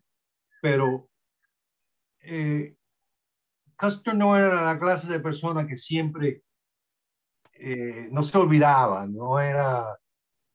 Él se encontró con Kilpatrick después de la guerra y estaban choteando y cuanto hay. Así que Custer no era esa clase de persona, pero con Merritt la cosa sí se puso muy fea. Y durante la campaña de Appomattox, Custer es culpable de insubordinación había una vez que Merritt viene y le dice a Custer, bueno, ya no tengo eh, municiones y me tengo que retirar. Si tú puedes, coge el avance. Y Custer le dice a Merritt, mira, termina tu trabajo. Y eh, esas cosas pasaron regularmente. Durante la batalla de Cedar Creek, Custer cogió 19 cañones y casi 20 banderas de los confederados. Y después de la batalla, se reúnen en, en, con Phil Sheridan y Merritt le pregunta a Custer, bueno, Custer, yo, yo estuve ahí también. ¿Por qué tú no me das un poco de crédito por uno de los cañones y uno de las banderas, etcétera, etcétera? Y Custer lo mira y le dice, si tú sigues pidiéndome crédito por las cosas que yo cogí, te voy a llevar atrás de la, de, la, campaña y te voy a entrar a golpe. Y eso fue la cosa entre estos dos. ¿eh? Era un... tenían odio. Es una de esas cosas que... ¿Cómo pasan esas cosas? Bueno, eran diferentes personas. Eh, una cosa que siempre eh, no le cayó bien a Custer era que él siempre era subordinado a Merritt cuando él creía que él era mejor soldado, que tenía más victorias que Merritt. Y él no sabía que al final de la guerra, eh, Sheridan nombra a Merritt como jefe de la caballería. Y Custer está, bueno, ¿por qué no me nombran a mí jefe de la caballería? Yo soy mejor soldado, soy más victorio, yo debo de ser el jefe de caballería. Y desde ese, ese punto, las cosas se ponen feas y más feas entre los dos hombres hasta el final de la guerra. Y entonces después de la guerra, las cosas siguen, porque los dos siguieron en, en el ejército después de la guerra.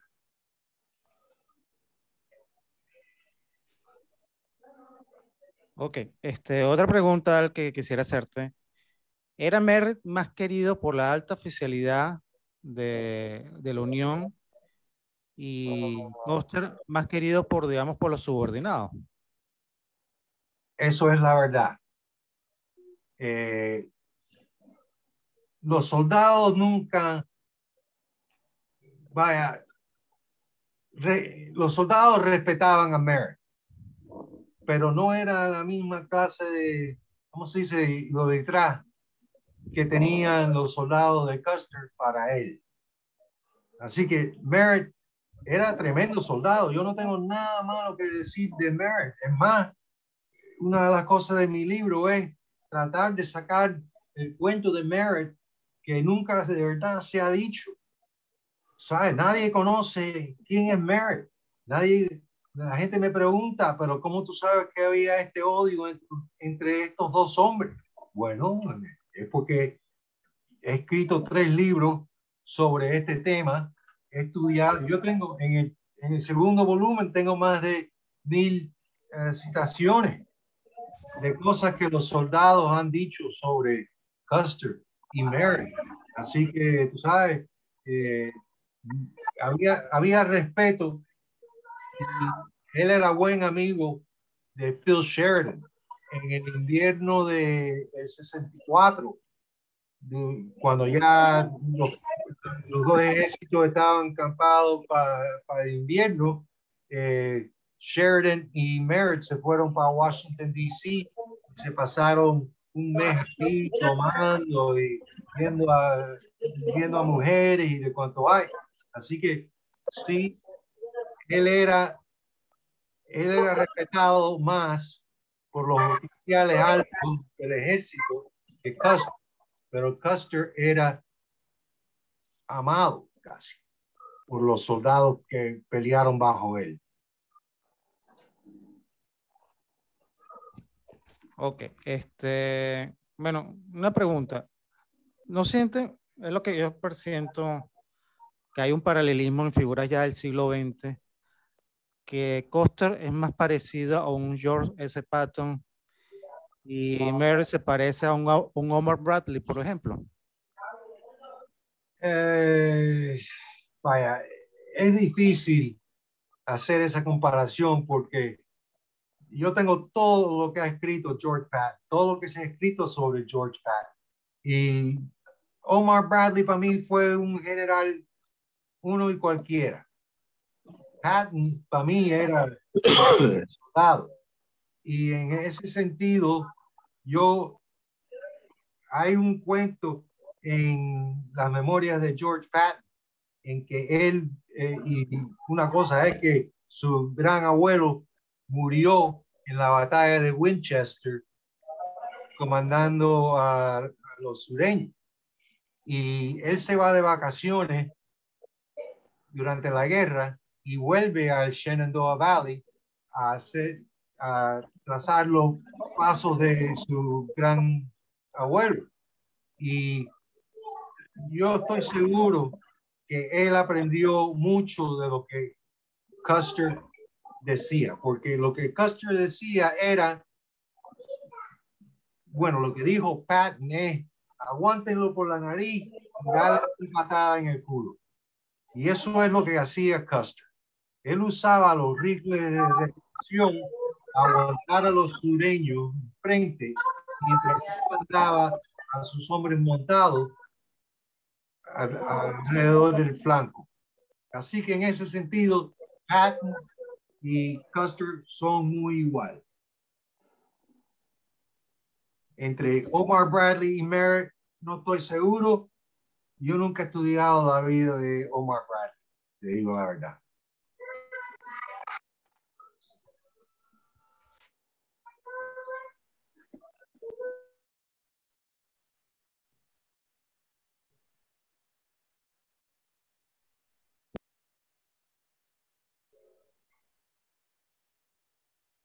¿Algo más?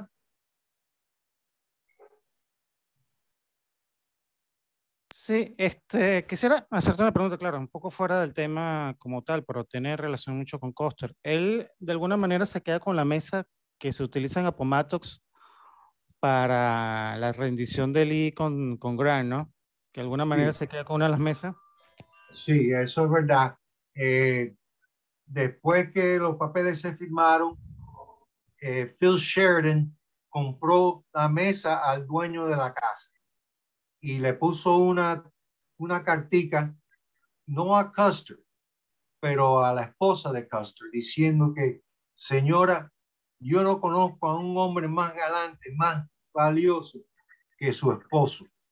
Y le, le estoy mandando la mesa en que se firmaron los papeles de, eh, de Lee, en donde Lee firmó la, eh, los papeles, porque habían dos mesas. Había la mesa en que Grant escribió y la mesa en que Lee. Pero Sheridan compró la mesa y se la dio a Custer para dársela a su esposa. Y esa mesa hoy en día está en el museo de Little Bighorn. Mm, ok. Este, una, una pregunta, porque después de Lincoln, Custer es el personaje de la guerra civil con más películas y miniseries como tal. Ahora, ¿por qué hay más películas de Custer que por lo menos de Ulysses Grant, que no hay ninguna película de Grant que sea un personaje principal? O sea, ¿cuál consideras tú la razón? Bueno, eh,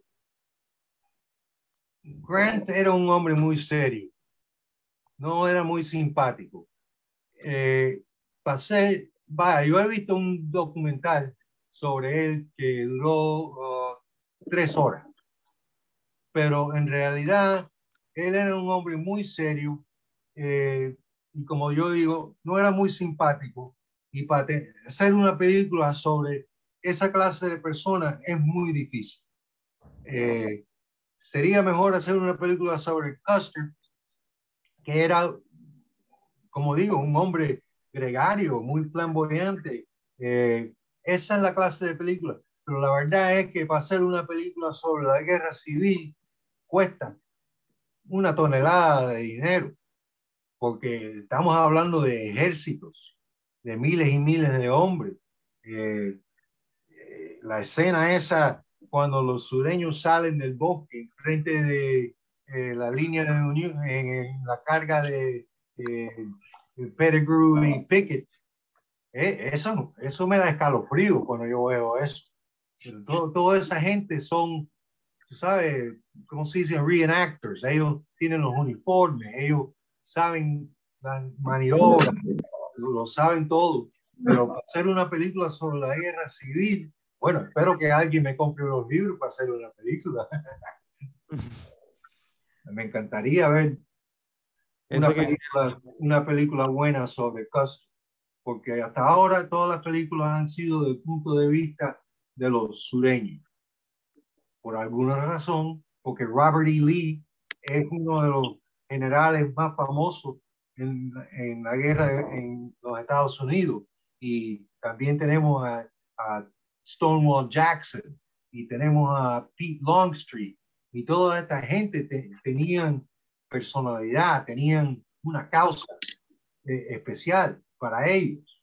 Y hasta ahora no se ha hecho una película que tiene el foco sobre el norte.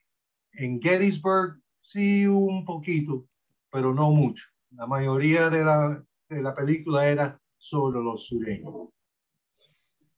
Sí, y algo sí, bueno, de, bueno, y eso lo, muy bien lo sabes, que de Coster conocemos más de la época posterior a la guerra civil que de la guerra civil.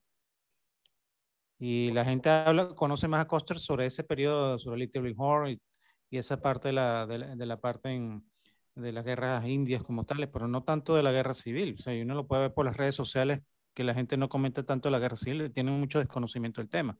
Este creo que es un tema para enseñarle un poquito a la gente o mostrarle un poquito a la gente de la actuación de Costa durante ese, durante ese conflicto, que es donde, donde nace verdaderamente el mito y la leyenda, ¿no?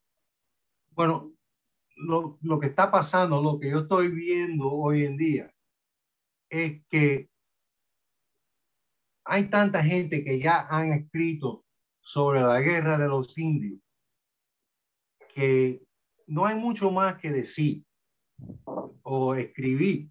Así que la gente que admiran a Custer, como yo, yo, yo vivo en Miami. No hay ninguna manera que yo puedo ir a Montana y pasarme el tiempo en ese campo de batalla como la gente que vive alrededor de, de Little Bighorn que conocen todo, conocen hasta el último huequito en la tierra. Es increíble eh, estos historiadores que han escrito sobre Custer en contra los indios, que ah, hay gente que no le queda más remedio que escribir sobre Custer en la guerra civil. Y lo que yo estoy viendo hoy en día es que hay más y más libros escritos sobre Custer durante la guerra civil. Uno de mis íntimos amigos es el historiador Eric Wittenberg. Y cuando yo lo conocí hace 25 años, él le tenía odio a Custer. Pero el otro día él publicó un libro que se llamaba eh, Seis días de tremenda batalla. Y él habla de lo más bien de Custer. Y al principio, en el prólogo, él dice, uno de los errores más grandes que yo hice fue en no creer en la habilidad y de Custer, la galantería de Custer y su táctica. Y él lo dice claramente, discúlpenme, pero yo hice un error. Y en este libro, él trata de eh, arreglar el error que él hizo. Y es un libro tremendo. Seis días de, de batalla, se llama. Six Days of Heavy Fighting. Sí, bueno, Eric Wittenberg, bueno, que aparece incluso en tu libro, ¿no? Este, y es una de las personas más reconocidas en el campo de lo que es la caballería durante la guerra civil, ¿no? Y de hecho, para los amigos que están aquí presentes, que están viendo este video, si ubiquen por la página de, de, de Inland Empire en Facebook, hay una presentación de Eric Wittenberg que le dio a ellos, eh, le ofreció a ellos el año pasado, que lo pueden ubicar, que es la batalla de Trevelyan Station, que tú lo comentas, que es la parte final de tu presentación de hoy, ¿no? Sí. Entonces, bueno, eso, eso es la, la mayor este, información. Ahora, ¿qué fue lo que te inspiró a ti a, a conocer a Coster? O sea, ¿cuál fue lo que te llamó a ti la atención en una primera instancia para este, animarte a conocer de este personaje y, y, de la guerra civil? O sea, ¿cómo fue tu proceso de, de introducción a, al mismo? Pues? Bueno, hay dos preguntas ahí. Eh, la primera es mi introducción a Custer y es lo que dijiste a, al principio. Yo vi la película de Earl Flynn, murieron con la bota puesta. Y yo, yo he visto esa película más de 20 veces. Y eso fue lo que me interesó a mí en Custer. Lo que me interesó a mí en la guerra civil fue que, como yo dije, mi abuela estaba casada con un americano y cuando yo vine de Cuba, nos, nos fuimos a Connecticut. Y de Connecticut a Gettysburg no es muy lejos. Y cuando yo fui a Gettysburg, me enamoré de la guerra civil, una pasión para la guerra civil, porque yo vi cosas ahí, eh, el lugar es espectacular. Eh, el, ¿Cómo se llama? El servicio de parque ha tenido un cuidado con ese lugar. Han tratado de eh, dejar el campo de batalla como estaba en julio, en junio y julio de 1863. Y cuando uno va a, hoy en día a Gettysburg, es, es increíble, es como si todavía estuvieras ahí ese día. Tú ves las cosas, la fotografía, eh, la gente va y ponen en Facebook fotografía de cómo lucía en esos días y cómo luce hoy en día. Y, tú puedes decir, ay, yo he estado ahí, yo he visto eso. Es, es exactamente como estaba, lo único que hoy en día es que las carreteras, tú sabes, son más buenas que las carreteras en esos días, pero aparte de eso, los árboles, el terreno, todo eh, exacto a, a, como estaba en esos días. Yo fui a un viaje que eh, mi esposa y yo estuvimos en un grupo con un agente del parque y empezamos donde está el monumento a Robert E. Lee y nosotros caminamos el campo entero hacia Cemetery Hill, donde estaban los federales. Y cuando uno camina ese campo, es así, se ven las instalaciones, la, los montes, hay, hay, hay, veces donde uno no puede ver eh, donde estaban los, los, federales y cuando uno ve de los federales ah, no, no se ve los, los sureños. Cuando uno está ahí es increíble. Han tenido un cuidado con ese lugar que eso fue lo que me empezó la pasión para la guerra civil. Fue mi primer viaje a los 14 años a, a Gettysburg. Ok. ¿Y ese campo de batalla lo veías muy parecido como está hoy o incluso hoy está mejor que cuando fuiste en tu primer viaje a Gettysburg? Es mejor hoy en día porque don, sobre los años han crecido árboles, han crecido, tú sabes, ramas, matas, todas esas cosas. Y ellos donde no habían árboles en esos días, ellos los han cortado. Así que cuando uno ve el campo de batalla, yo, yo me paré en un lugar donde Buford estuvo y marcado estaban los cuatro, las dos brigadas de Buford. Pero cuando uno miraba hacia el al este, lo único que había eran árboles enfrente de mí. Y yo decía, bueno, ¿por que alguien va a querer poner a sus tropas aquí cuando no se puede ver nada. Pero todo eso está, ya lo, lo quitaron todo y cuando uno se para ahí donde están las marcas, los, los monumentos a la brigada de Buford, uno puede ver el campo entero en, como estaba en esos días. Eh, el Peach Orchard, hoy en día tienen los, árboles de, de ahí. Así que eh, han hecho un tremendo trabajo en poner el campo como estaba en esos días. Es, es, el mejor ejemplo del gobierno haciendo algo súper bueno para el historiador. Sí, esto indudablemente la, la, la actuación de American Battlefield Trust, que inició como Civil War Trust, es importante porque ellos trabajan en la, primero para comprar los terrenos a los propietarios de los mismos, para preservar los campos de batalla y colocar los campos de batalla tal como estaban para la época de la guerra civil, ¿no? Entonces yo creo que es el éxito de esto y es la, creo que es la única guerra civil que de alguna manera se están preservando los campos de batalla en el mundo. Incluso si lo llevamos a, España, no es, no es el mismo caso, no se están cuidando los campos de batalla de la Guerra Civil Española, por diversas razones, lo que sean. Y de Estados Unidos sí. Y yo creo que es algo que por lo cual el americano común le toma cariño a esa guerra civil. De hecho, yo estuve en una participación en un evento que era sobre la guerra franco-india y se hizo un encuentro en los participantes preguntando que cuál era la guerra favorita de, de, de, la gente y la guerra civil estaba incluso muy por, estaba por encima de la Segunda Guerra Mundial, ¿no?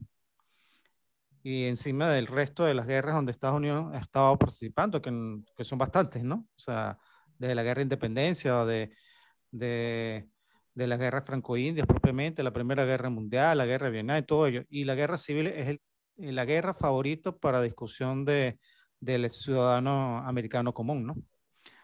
Eh, bueno, sí. Okay, uh, may I want to, to uh, ask a question to, to all Mike? Thank you, Fernando. Al, two things. If you have a pencil or a pen available, if you could write down our Gmail address and send us your contact information. Okay, let me get a pen. Go ahead. It's very simple. It's just the letters I E C W R T at gmail.com.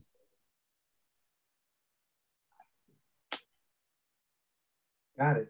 Those are our letters of our roundtable, Inland Empire Civil War roundtable. And then I have a question. Uh, can you comment on or tell us what you know about Custer's brother, Thomas? Uh, other than to say that he was the bravest of the brave, that Custer would forever say that Tom Custer should have been the general and not he. Uh, in the closing days of the war, he captured two Confederate flags. One at, at one point in the capture of one of the flags, he was shot from cheek to cheek, must have knocked out a bunch of teeth. Custer, and he was ready to go back into the fray. and Custer had to arrest him, have him arrested to keep him from going back out into the battlefield. But Tom was as brave as brave can be. Like I say, there's very few men that have two medals of honor in American history. Um, he was just uh, under the shadow of uh, George Custer. And Yeah. Now I, there finally is a book out on Tom Custer. If I could, if it's not too much trouble, could you repeat that in Spanish, please? Sí. Tom Custer. Vamos a decir que Tom Custer ha vivido en la historia bajo la sombra de su hermano. Eh, durante los últimos días de la guerra civil, él capturó dos banderas de los rebeldes. Una vez en la segunda, le metieron un balazo que le entró en la quijada y salió del otro lado y él quería seguir peleando y su hermano lo tuvo que arrestar y mandarlo para el médico para que lo le dieran tratamiento médico y por eso le dieron la segunda eh, medalla de honor. Pero él siempre ha vivido bajo la sombra de su hermano. Pero su hermano siempre decía que Tom era el que debía de haber sido el general en vez de él. ¿Y ese hermano era eh, mayor o menor que, que George? Era menor. ¿Y eh, estuvo algún otro hermano que participó en batalla junto a ellos o eran ellos dos nada más? No, durante la guerra civil no. Pero era muy joven, pero eh, como se sabe, en el Little Bighorn, el nieto y otro hermano se murió y el, eh, vaya, ese día la familia de George Custer perdieron cinco personas ese día. Nieto, hermano, dos hermanos, eh, ¿cómo se dice? Es, eh, hija- Sobrino. no, eh, bueno, el sobrino sí, y dos hermanos, y también eh, el hombre que estaba casado con su hermana, eh, Lidia. Eh, ok. El cuñado. El cuñado, es- esa es la palabra, el cuñado. Él, él también murió con Custer ese día. Así que la familia perdieron cinco personas en total. Ok. Y una pregunta, este, ¿cuál fue la actuación de la esposa de Custer, de Libby, después de, de que este cayera en Little Bighorn? Porque vivió muchos años y no se volvió a casar, como ya lo comentaste en la, en la presentación. Ella vivió a más de 90 años. eh, nunca se casó, se pasó la vida entera eh, tratando de establecer la, legacy, la legacia de George Custer, pero también ella escribió tres libros sobre la vida en el oeste, que hoy en día se consideran clásicos, libros clásicos sobre eh, la vida en, en el oeste, en, en la época en que Custer estuvo ahí desde el 68, desde el 66 hasta el 76. Cuando eh, Custer murió, ella se tuvo que, tuvo que volver al- a Nueva York. Pero eh, es lo que digo, estos tres libros que ella escribió, ella era tremenda escritora. Y el detalle de la vida en el oeste es increíble. Y como digo, los libros son clásicos. Mm, perfecto. Este, una última pregunta me gustaría hacer es sobre, digamos, ¿cómo fue la relación de Custer con Grant durante la guerra civil, si la tuvo y posterior a ella? Porque creo que no fue, como creo que tú lo comentaste, que no fue muy fluida y más bien tuvieron fricciones casi hasta, hasta los últimos días, ¿no? Eh, yo no sé si la palabra es fricción durante la guerra civil, pero después de la batalla de Cedar Creek en el valle de la Shenandoah, el secretario de guerra, Edwin Stanton, porque ese era, ese era un año de elecciones presidenciales y ellos necesitaban algo, tú sabes, necesitaban un evento para que Lincoln ganara la elección. Y Stanton manda a Custer a, a Washington con todas las banderas que él había cogido en la batalla de Cedar Creek. Y cuando están ahí en el departamento de guerra, Stanton mira, porque trajo a todos los soldados con la bandera que cada uno había capturado, y había más de 19 hombres ahí, y Custer estaba en el centro, vestido en uniforme regular, completo, con el pelo corto, luciendo súper bien, y Stanton se vira a los hombres y le dice, para enseñarle como oficiales buenos hacen gran soldado, yo voy a hacer a su general Major General. Hasta ese momento, Custer era un brigadier. Y entonces Stanton le dice, te voy a dar una promoción a Major General, dos estrellas en vez de una. Y Grant se entera de eso y le manda una carta, una carta a Stanton y le dice, ¿qué en rayos tú estás haciendo? Dándole una promoción a Custer antes de Merritt. Y entonces las cosas de verdad se pusieron, vaya, Grant nunca le, Custer nunca le cayó bien a, a Grant, pero el hombre podía pelear.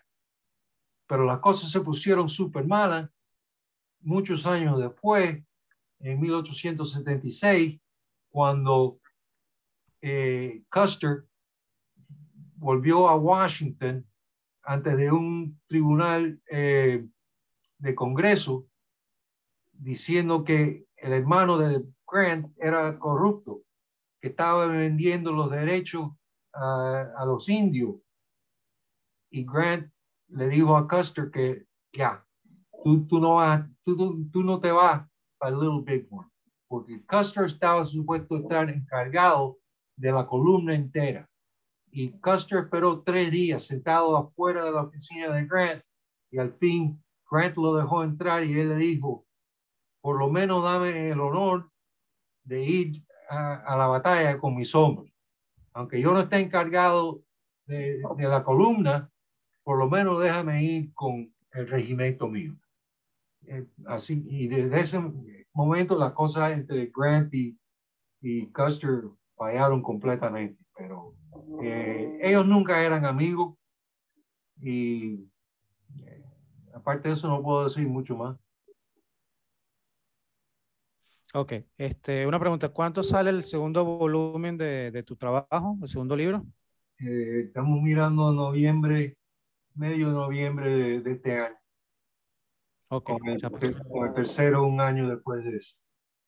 Ok, para que me avise, tal como ya he colocado en el grupo con varias publicaciones de, de tu primer libro, para quien esté interesado, este, puede acceder a él, incluso en el chat, tanto aquí como en Facebook, lo coloqué para que puedan ubicar tu, tu libro, que además que es una prestigiosa editorial, la, la, la editorial más prestigiosa de, de, libros de la guerra civil, ¿no? Que es Sabaviti que es de, la gran mayoría de las presentaciones que he visto y de los libros que he visto relacionados con, con, los mismos son relacionados con este editorial, o sea, que es algo de verdad valioso tu trabajo, o sea, por algo estás ahí, ¿no? Bueno, es lo que yo dije, yo nunca tuve la intención de escribir un libro histórico como se escribe hoy en día, que el regimiento este marchó hasta ahí, papá, papá, papá, una batalla tras otra. Yo lo que quería hacer desde el principio era escribir un cuento humano sobre dos hombres que se cogieron un odio, batalla por batalla, campaña por campaña, hasta el final de la guerra y después de la guerra. Y eso es lo que yo quería hacer, que no es para decir que yo no escribo de las batallas y de las campañas, porque sí, y en gran detalle también, pero para mí lo interesante era la relación entre estos dos hombres que pelearon tres años juntos y se cogieron un odio que fue después de la guerra, hasta la guerra de los indios, hasta el momento que Custer se murió, cuando la cosa entera se acabó. Perfecto. Este, bueno, no sé, bueno, yo no veo ninguna otra pregunta por acá. Este, yo creo que ya, creo que nos esclareciste mucho el panorama sobre Cosa. Esperamos ya tu próximo libro y será ya después que podamos tener otra presentación sobre ya sobre otro trabajo tuyo. Este, aunque ya bastante nos explicaste ya porque nos llevaste hasta Trevelyan Station, ¿no? Que es donde creo que es donde termina tu segundo libro, ¿no? No, el, el segundo volumen se acaba eh, más o menos en agosto de 1864 en el valle de Shenandoah. Así que yo dejé una parte, yo nada más que quería llevar este libro hasta el momento donde las cosas entre Custer y Merritt se ponen oficial. O sea, se escriben en, los recuerdos, los, los records oficiales de la guerra de la rebelión, como, se llama. Y en eso ellos dos escriben. Custer le echa la culpa a Merritt por demorarse tres horas y Merritt le echa la culpa a Custer de que en el segundo día él no puso mucho esfuerzo y que por eso no pudo hacer nada. Y ahí es donde lo dejé, pero todavía hay bastante durante el segundo volumen que no, no he hablado sobre eso y entonces tengo el tercero que sale en el 2023. Ok, bueno, yo creo que ya de, agradecerte por tu presencia en el día de hoy, por dar nuestra extraordinaria conferencia. Desde que yo la pude disfrutar la primera vez, como te dije, con el Museo de la Guerra Civil Americana el año pasado, yo siempre tenía pendiente de, de querer hacer un evento en español todavía no teníamos el grupo formado ni nada, estaba lejos todavía. Y hoy por lo menos pudimos, pude por fin tener tu conferencia en español y que quería agradecértelo porque es la primera vez que, que hay un evento o una conferencia en español y en inglés, ¿no? Eh, que es la primera vez, ¿no? O sea, el primer crossover, ¿no? Como se le llama sobre todo a los cantantes, ¿no? Entonces agradecerte por esa, ese apoyo que nos has dado a nosotros y creo que este, bueno, contar contigo para toda la experiencia que tiene. Igual cuentas con nosotros. Este, nosotros también como nuestro interés es apoyar y promocionar también a las personas que han trabajado, que tienen algún trabajo sobre la guerra civil, en este caso de los libros, de publicaciones de libros. Este, estamos a, la disposición para cualquier cosa en futuro. Así que muchísimas gracias Adolfo. Muchísimas gracias. Muchas gracias a ustedes. Y bueno, a los participantes, bueno, ya estaremos en la próxima oportunidad, nuestro próximo evento que es el día 10 de abril, que vamos a hablar sobre cine, televisión y la guerra civil americana. Okay. Entonces, ahí tendremos también, bueno, vamos a tener otra vez a Coster, sobre todo con Murieron con la bota puesta, que es una de las que quedó de las primeras, en los primeros puestos en las votaciones que hicimos una encuesta hace unos días, ¿no? Entonces, bueno, agradecerte tu presencia, agradecerle a, la, a las participantes nos vemos para el próximo domingo 10 de abril